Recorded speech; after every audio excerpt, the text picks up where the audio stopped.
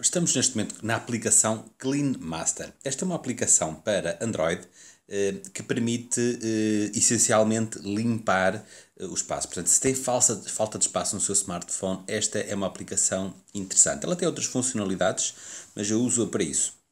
Portanto, esta é a interface principal. ela diz aqui o total de armazenamento e o total de armazenamento disponível. Portanto, tenho 20, 26 GB, portanto, este é um tablet de 32 GB e portanto 81% está ocupado. E depois também mostra aqui ehm, a ocupação da, da memória. E portanto, aquilo que nós podemos fazer com esta aplicação é clicar na opção Otimizar. E ao clicar nesta opção, portanto, ele está aqui a analisar, ele também analisa a temperatura do CPU, se estiver muito quente, ele sugere que desligamos algumas aplicações. Às vezes acontece, vai com muitas aplicações. Aqui vou otimizar eh, 449 MB, portanto aqui ele está a retirar da memória. Isto se tiver muita coisa em memória, já que estar na memória eh, é bom, porque fica mais rápida a aplicação, mas se tiver muita coisa, pode acabar por ficar mais lento. E agora vou à opção Fecheiros Desnecessários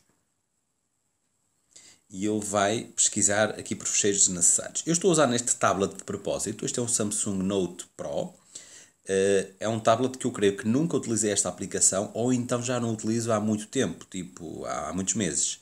No smartphone, e por isso eu sei que vai dar aqui um número muito grande de gigas, precisamente também para ver. Tem aqui uh, 6 gigas uh, para limpar.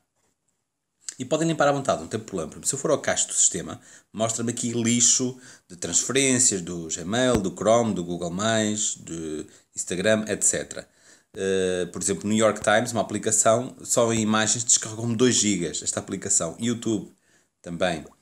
Uh, Photo Studio, Snapchat, Sketchbook, etc. Portanto, temos aqui 6 GB que podemos limpar à vontade. Cá está poupei 6 GB. Eu costumo fazer no meu smartphone uma vez por semana e limpo 1 GB por semana. Eh, entre fecheiros temporários de vídeo, entre anexos, entre fecheiros temporários das aplicações, gera 1 GB uh, por semana. Portanto, neste caso limpei 6 GB, vou voltar aqui à página principal, uh, portanto já está melhor. Ele tem aqui mais ferramentas, mas uh, esta de limpeza do armazenamento é muito simples e muito eficaz.